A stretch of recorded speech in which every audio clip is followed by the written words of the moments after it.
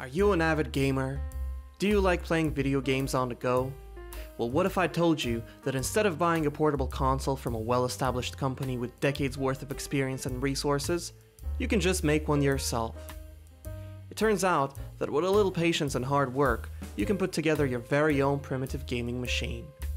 All you need is some basic knowledge of programming, soldering, and of course, ChatGPT. I started this project with the intention of learning about embedded systems and microcontrollers. Rather than sifting through tons of documentation and then promptly forgetting most of it, I decided to dive right into building an actual artifact and picking up things as I go. I was also curious about how I could harness the power of ChatGPT in the context of learning a new technology, and whether it could serve as a viable alternative to scouring Google for problem solutions and syntax tips. The microcontroller that I use for this project is a Raspberry Pi Pico. The Pico is a tiny yet powerful microcontroller board that's perfect for simple electronics projects, learning programming, and building various smart devices.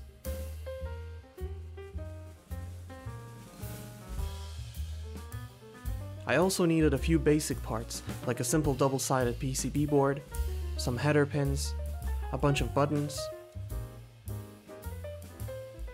and a tiny compact OLED screen.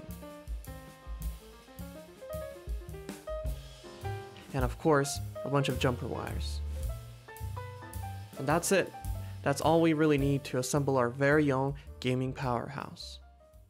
Now comes the fun part.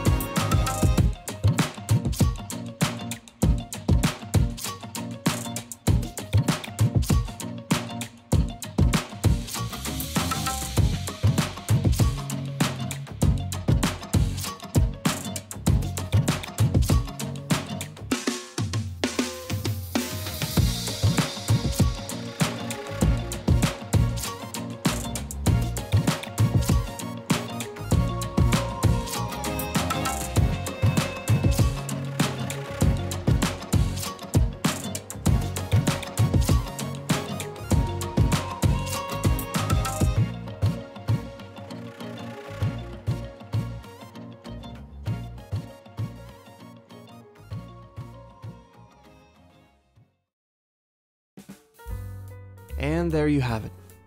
A fully functioning portable gaming console. Now, in order to have it do anything at all, we need to actually write some software for it. Or do we? See, in our modern day and age of AI innovation, we can approach software engineering in a different way. Introducing ChatGPT, a cutting edge general AI model that is here to do our bidding. All we need to do is prompt ChatGPT to give us the code for any original video game ideas that we can think of, and off it goes.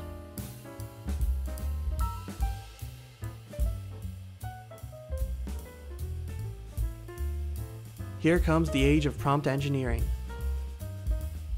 Generally speaking, the smaller the task, the better your chances will be of just copy and pasting generated code and having it work from the get-go. Also, being descriptive when prompting ChatGPT definitely helps. It won't always work right away, and maybe you'll need to spend some time iterating over the generated code, and perhaps you'll actually have to resort to taking matters into your own hands and doing a bit of programming the old-fashioned way. Perhaps. Here I was prompting ChatGPT to create a simple Pong style video game for our newly assembled console. I started off by giving a general description of what I wanted to generate, and then continuously testing the output code and asking ChatGPT to iterate and add any missing features. And even though it took several tries and some manual tweaking, it took way less time than writing everything from the ground up. Despite its flaws, it's pretty amazing that this type of technology is now available to us. At its current stage, ChatGPT is not really a replacement for software engineering, but it's definitely shaping up to be a powerful tool that many developers can utilize in their daily tasks.